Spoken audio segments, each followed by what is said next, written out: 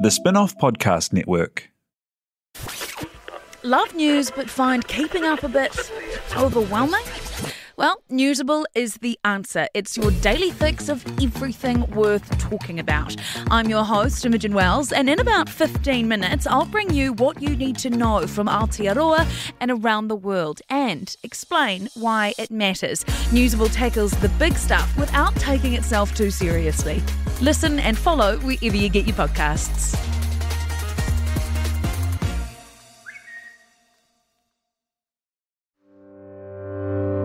When the Facts Change is brought to you by the Spinoff Podcast Network in partnership with KiwiBank, the bank for Kiwi looking to get ahead in business and in life. A bank that delivers expertise and banking know how, smart advice for business owners wanting to invest, grow their business, or diversify. A bank that adapts with technology through the lens of its people and customers. It is a bank with heart that is driven by its purpose. Kiwi making Kiwi better off.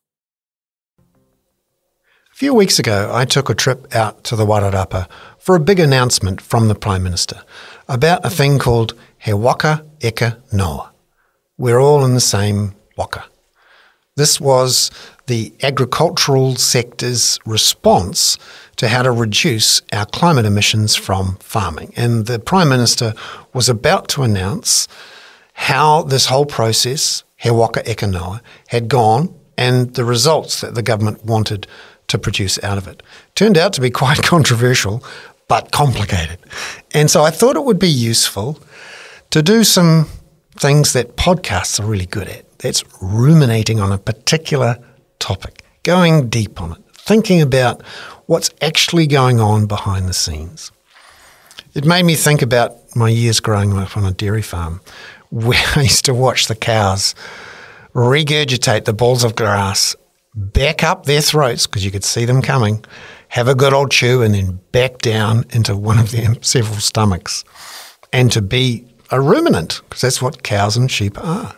That actually matters a lot in New Zealand, the business of ruminating and ruminants, because in that stomach, a whole bunch of methane is being produced. And they do it by eating grass, which is grown with a bunch of nitrogen fertilizer, which then turns at least partly, into nitrous oxide. Why do we care about methane and nitrous oxide? They are the gases that our farmers produce, and they are a major part of our climate emissions story, and of course, the basis for He Waka Eka Rather than go into the details of all of the different schemes and dreams and plantings and uh, subsidies that He Waka Eka came up with, I actually wanted to go a bit deeper ruminate on what comes out of those ruminants, why these gases are different from carbon dioxide, why there is a huge need to reduce them even faster than carbon dioxide, how there's a huge opportunity too to reduce Aotearoa's warming of the planet in a very fast way, simply because of the science of climate change when it comes to methane and nitrous oxide. That's this week on When the Facts Change. I talk to Melanie Newfield, who is a science writer with a Substack I'm a fan of, who explains these issues, the science issues around methane and nitrous oxide, really well. This week, we're going to go deep into methane and nitrous oxide. We're going to ruminate on what comes out of the ruminants.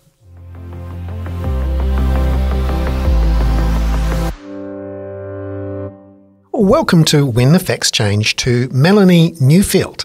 Melanie, great to have you here in the studio in Parliament. Yeah, thank you. It's great to be here. Now, I stumbled across your work as a science communicator and writer, an independent one, in your excellent Substack called The Turnstone. Could you tell us uh, about what the Turnstone is and, and, and what you're doing with the Substack? So, a turnstone is a small bird which likes turning over stones to get food. And so I like turning over metaphorical stones and looking at things and learning about topics. And I have a real passion for making the science behind important issues accessible to everyone. So at the moment, that means I'm writing a lot about climate change um, and trying to make some of the science behind climate change something that people can understand. And that's why I found it so useful to to get your Substack. And in particular, trying to understand the issue of gases produced by our farms. Part of my job here in Parliament is to try to uh, think about what the farmers are saying, what the policymakers are saying, what the legislation is, what are the issues around our climate emissions from farms, and trying to get a sense of, for example, the He Waka Eka Noa process. We're all in the same canoe, and the government's decisions over the last um, few months and the decisions that we'll have to make in the years to come, both sides of Parliament within the context of the Zero Carbon Act. And you did a really useful thing, which was to go into the science and explain how methane and nitrous oxide, the two main gases produced by our farmers, are different and why they're different and how they warm their planet and how that plays into how we think about our emissions from our farms. And in particular, uh, your first piece was called Off the Grass. And you started off by introducing us to a particular park in Newlands with these most weird and amazing red poles sticking out of the middle of them. Could you tell us about this park? Yeah, so this is Waihinahina Park, and it is the most fabulous dog park. Um, huge area, stunning views, and these weird red pipes. And the reason the pipes are there is because Waihinahina Park used to be the Horokiwi landfill. And when landfills, landfills basically release something called landfill gas, which is a mix of different gases, including methane, carbon dioxide, and various slightly smelly things as well. I can, um, even though this is radio, I can smell it right now. Yeah, yeah. And the the immediate problem with landfill gases is that they can build up in pockets from the decomposition of things in the landfill, and they have been known to explode. Apparently, I've never heard of one exploding in New Zealand, but um, they have actually exploded. So, so that's why the pipes the pipes are there come up from the landfill and yep. let the methane out, out. into yep. the atmosphere. Yep, because otherwise you'd be at risk of. We don't want these things to blow up. We no. don't basically don't want our landfills or our former landfills blowing up. But there's another problem, and that is that methane is a greenhouse gas. Yeah, and tell so, us tell us about how it's um, heating the atmosphere, how that's a bit different from carbon dioxide, and why we have to think about it differently to what we pump out of the back of our tailpipes of our cars and utes. Yeah, so the crucial there's there's two crucial things about the difference between carbon dioxide and methane.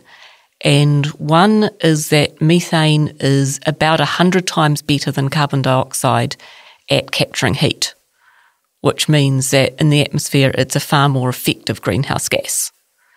Um, but the other thing is that in the atmosphere, methane is relatively short lived. So, carbon dioxide, once we've pumped that into the atmosphere, it's hanging around for 300 to 1,000 years. There's some exchange with the oceans, but broadly, it's, it's around for a long time. Methane takes about eight to 10 years and then reacts with ozone and breaks down and then is carbon dioxide.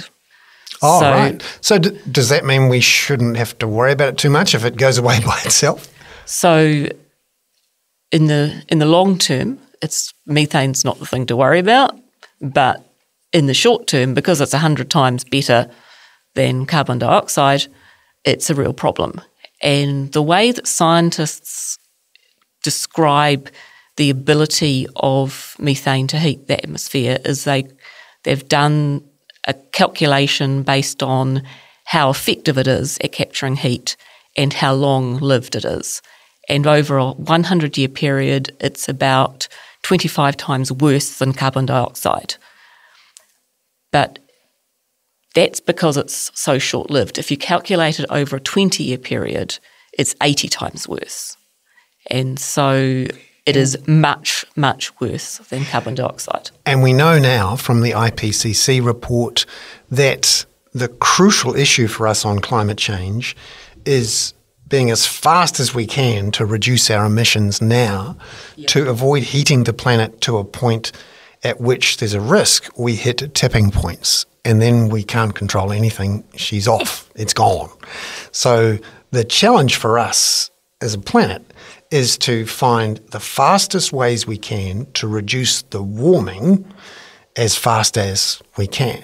So it's interesting. In the last uh, couple of years, I've noticed that a lot more of the debate around climate change has shifted from talking about uh, carbon dioxide, reducing carbon dioxide emissions, having less coal plants, having less cars, flying less, or not growing so fast, uh, and uh, and people are starting to think about this methane. Could you tell us?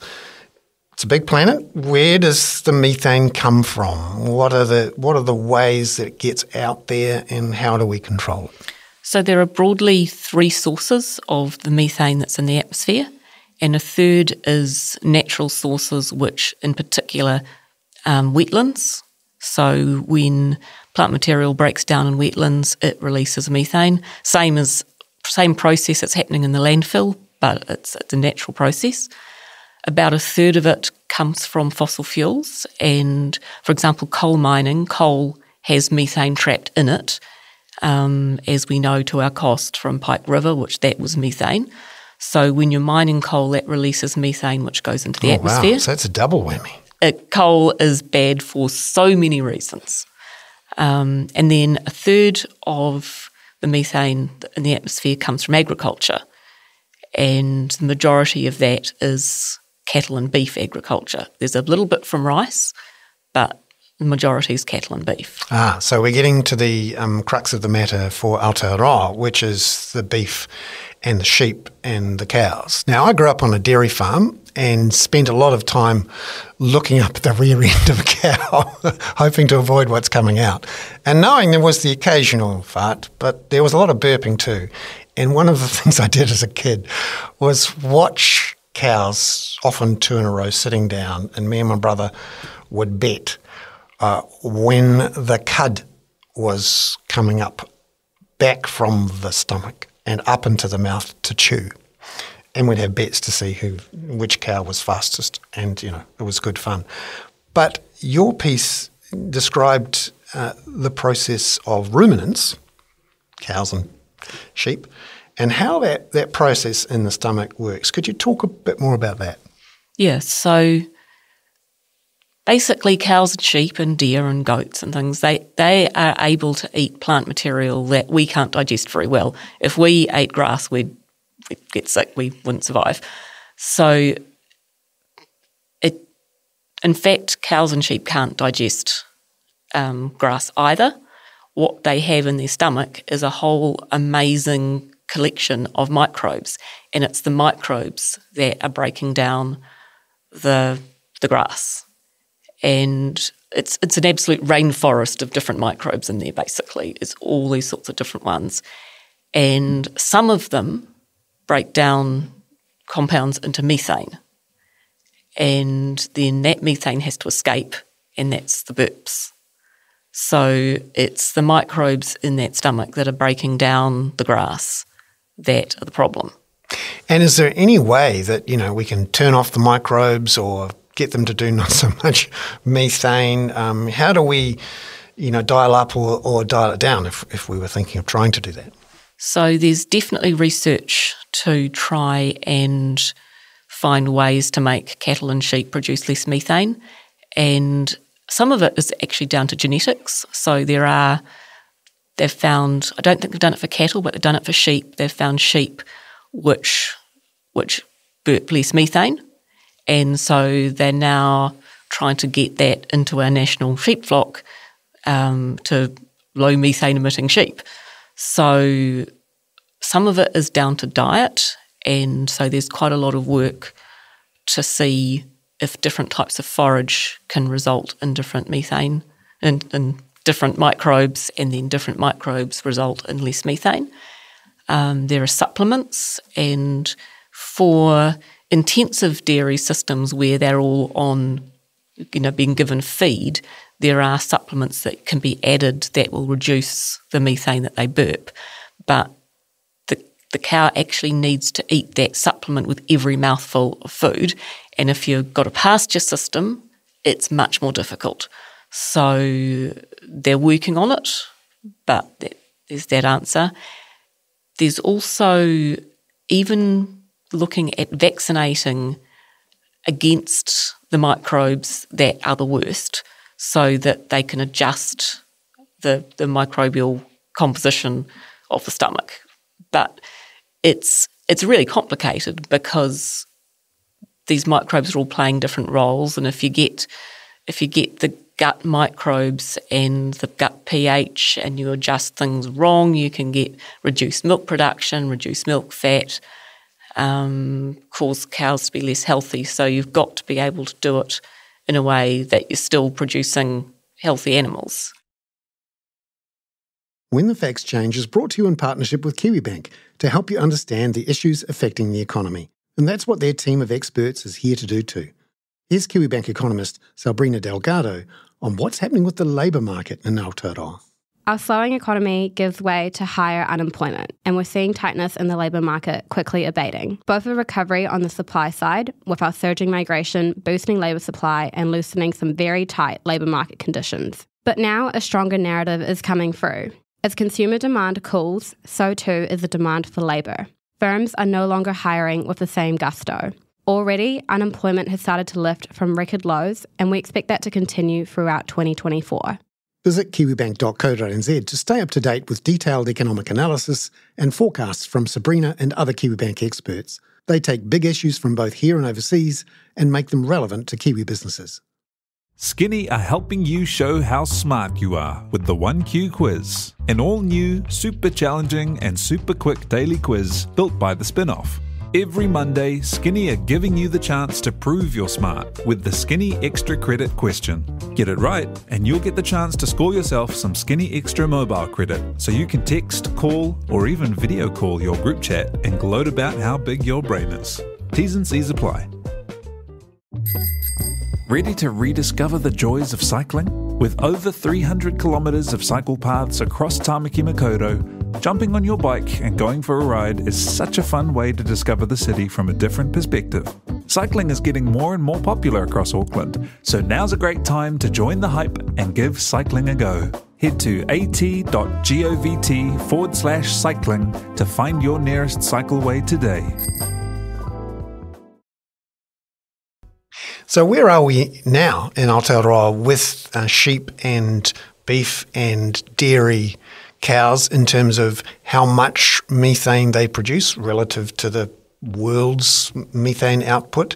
And how important is it for us as a country in terms of our total emissions if you add up the methane and the carbon dioxide? And one more we'll talk about in a minute. Yeah. So, yeah, that this is where it actually gets uncomfortable um, because methane is using the calculation of 100 years. Um, methane is 44% of our emissions. Now, that 100 year figure is a bit misleading because we need solutions now. So, if you look at it on the 20 year, it's much, much more than that. It's much more than half.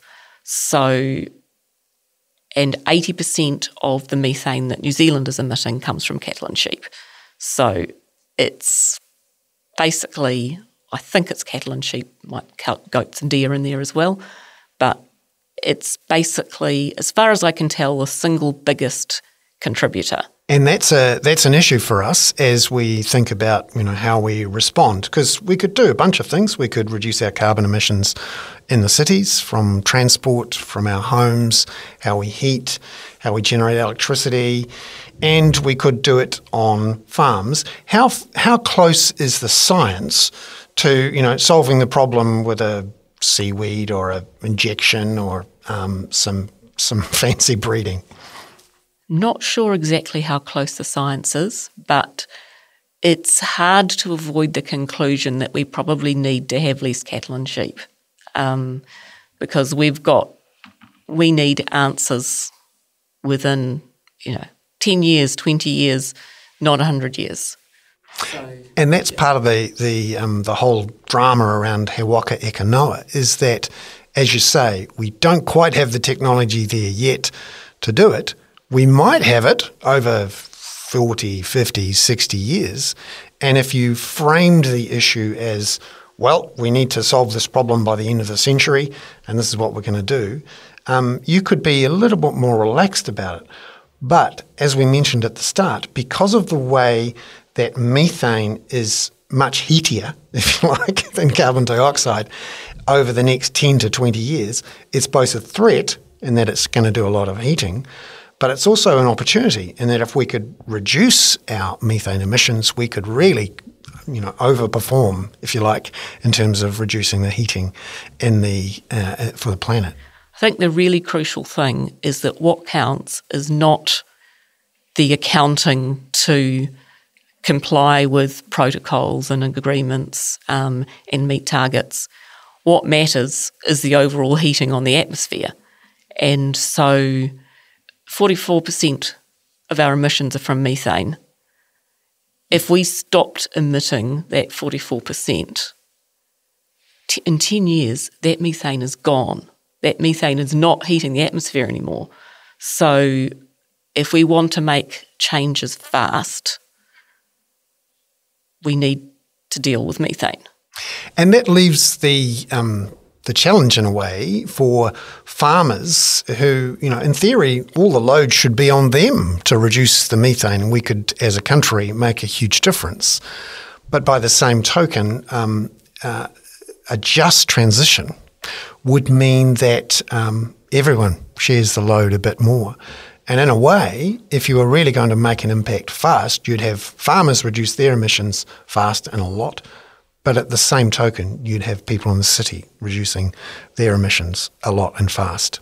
Yeah, and there are other ways. Uh, there are ways that people in cities need to reduce um, can reduce methane. So food waste is a con- is a big contributor. In particular, food waste that goes into landfill decomposes to form methane. So any organic material going into landfill is decomposing to methane. So you know that's probably only 10% of our methane emissions, um, but it's, it's still significant. But I mean, it's also all connected. You know, if farmers are affected, we're all affected as well. Our, our country is dependent on that. So it's, it's not a case of, you know, putting something on farmers that's not going to affect people in cities. Yeah, no, it's going to affect the overall uh, economy. And then the next gas, which I was fascinated with and hadn't really thought about as a dairy farming boy, um, although I did ride on quite a few fertiliser trucks and the odd fertiliser plane too. That was fun. Um, and we used to have this stuff, we could, you could smell it. We called it urea. And um, we thought it was good because it really did help the grass grow. But tell us about nitrous oxide because that's the other one we have beside methane that comes off farms? Yeah, so there are other greenhouse gases apart from carbon dioxide and methane, and nitrous oxide has no carbon in it at all. Um, nitrogen and oxygen, as the name suggests, but it is 300 times worse than carbon dioxide. I think. I think it's, I think it's more than that, but it's something like 300 times worse. And it hangs around in the atmosphere for about 100 years. So it's also bad from that perspective. And nitrous oxide, a lot of the nitrous oxide that ends up in the atmosphere comes from agriculture, or I think the vast majority. And there are two main sources. One is nitrogen fertiliser, and the other is animal urine. There's some from the poo, but it's more the pee. And so basically, what happens is if more nitrogen or nitrate in, ends up on the soil than plants can use, it's got to go somewhere. And it goes two places. One, it goes into the waterways and causes all the delights that we've seen in the, Rotorua lakes, for example, um, all that terrible pollution. Um, and the other place it goes is into the atmosphere, and some of that not nitrogen that goes into the atmosphere is in the form of nitrous oxide. And so that is, I'm not sure exactly the percentage. I think it's about 10% of our emissions come from nitrous oxide. So it's quite significant. And the nitrogen fertiliser that gets put on the farms, uh, a lot of dairy, but also some sheep as well. Are there alternatives, and are, are there ways in which you can spread it or use it or treat it so that you don't get quite so much nitrous oxide? Ignoring for, for now the nitrates filtering through into the water issues, we're only going to talk about nitrous oxide, the gas. So, something like 80% of the nitrogen applied is not used by plants. 80%? Wow. Something like that. So that's a huge opportunity yeah. as well. If you could avoid the wastage, you wouldn't have to pay so yeah. much for it. Yeah. And I don't know how much, I think you've probably got to over apply in order to get things to go well, but there's definitely being more effective at applying fertiliser, doing it more accurate, accurately um, makes a real difference. Um, and there is a particular chemical that you can apply at the same time, I understand, which can also reduce some of the nitrous oxide uh, emissions. Yeah, so there there was a there was a chemical used until I think 2013 called DCD, um, and I don't know, I've forgotten what it stands for. But Good thing I'm not going to try and repronounce it either. So let's just, DCD 2013. This was the Great Hope. And unfortunately, uh, traces of it were found in milk uh, products that went to China. China decided that they didn't like it. We haven't actually been able to use DCD since then. Yeah. So I don't know if there are other um, compounds, but there are. Um, it's not an easy it's know, it's not an easy problem to solve. So the combination here is that our farmers produce methane and nitrous oxide, and obviously there's a system here. Uh, if we produce a lot more output, often that's because we've put on more nit- nitrous oxide, we've got more cows, and they're chewing through more grass and more, putting out more methane. And the challenge here is how to reduce it in a way that um, allows us to continue to produce uh, um, dairy products and meat products that we can sell to the rest of the world. What about this argument that um, uh, we've actually been reducing the size of our herds in recent years, and therefore we're not adding extra methane to the uh, uh the planet, and therefore we don't have quite so much of a problem. And also, from a carbon point of view, per kilogram of meat and per kilogram of dairy products, we are more efficient, i.e., we don't produce quite so many uh, carbon emissions or methane emissions as other producers, let's say the United States or the Netherlands or whatever. How um, how true is that are those arguments? So, from what I've read, we have reduced our herd size, and that hasn't necessarily been for climate reasons but we have, and that has made a difference. Um, and yeah, so that that is that is a positive. Um, the I'm not there are I've heard different versions of events about well, different versions of whether or not we are better or worse in terms of um, you know emissions per unit. Um, so some some methods of calculating say that we're better um, than, say, intensive dairy production and overseas, and others say it's worse. Um, there's one argument that these sort of low intensity pasture systems are extremely inefficient because they're using a very large amount of land to produce relatively small amounts of protein, and that land could be used in a way which created effective carbon sinks if it wasn't being used for agriculture. So there is that argument.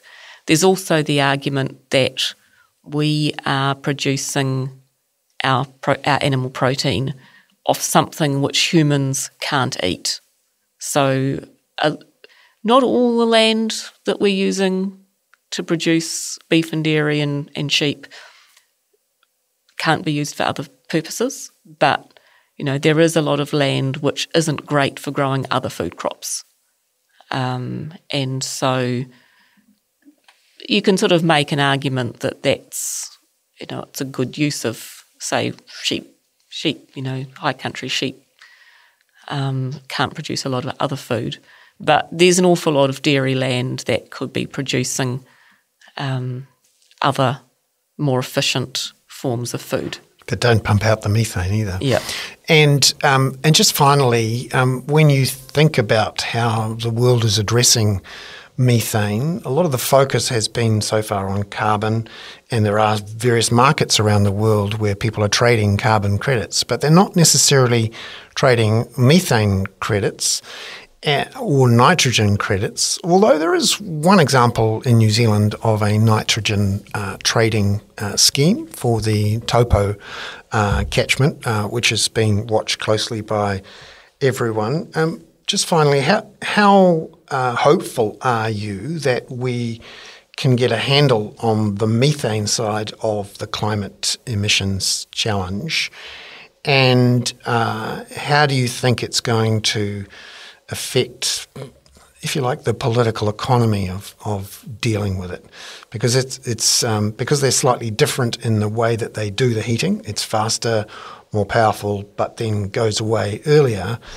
And it's a different bunch of people from you know the people driving cars or or creating electricity. How how hopeful are you that we're going to get a handle on this? There's things that make me optimistic and things that make me pessimistic. So I'm optimistic because it's something that we can, methane is something where we can make a real difference quite fast to the climate. And it's it's not something which involves a whole lot of individual actions because if you're looking for you know every single person to change their behavior that is actually really really tough when you're talking about industries changing the way they do things. That is often more effective. Um, I'm thinking of an example that has nothing to do with with um, which has a lot to do with methane, but nothing to do with cattle. Is that there's been major changes in how farmers grow rice in the last 40 years in China, and it's made quite a difference to the amount of methane emitted um, in, in terms of a positive change. So you can see these sort of big industrial industry level changes are in some ways easier to implement than every single person changing the behaviour. Um, on the other hand, it's so important to us. You know, we are so dependent on these industries that are big emitters, and it's so hard to find solutions. And the solutions are not going to come from offsetting. I think that's the other crucial thing is that the first tool in the toolbox that people seem to want to reach for is let's find a way to offset it. And I haven't written an article on the challenges with offsetting, um, but there are a lot of challenges with offsetting. And I think the most crucial point to make is that it's only going to ever be a small proportion of the solution. Most of the solution has to come from reducing emissions, and that's hard.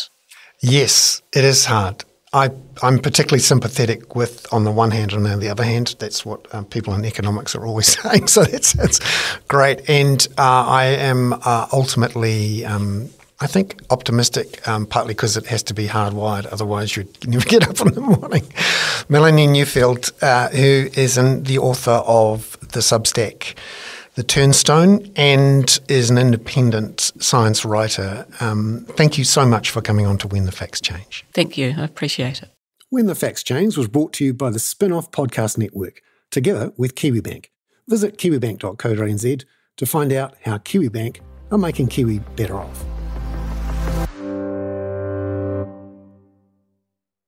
Are you making the most of your KiwiSaver investment? Generate is an award winning KiwiSaver provider with a track record of strong long term performance. Making a smart decision now could add tens of thousands of dollars by the time you reach retirement. Book a no obligation chat with a Generate KiwiSaver advisor today at generatekiwisaver.co.nz slash get advice. A copy of the product disclosure statement is available at generatekiwisaver.co.nz. The issuer of the scheme is Generate Investment Management Limited, and of course, past performance does not guarantee future returns. The Spinoff Podcast Network.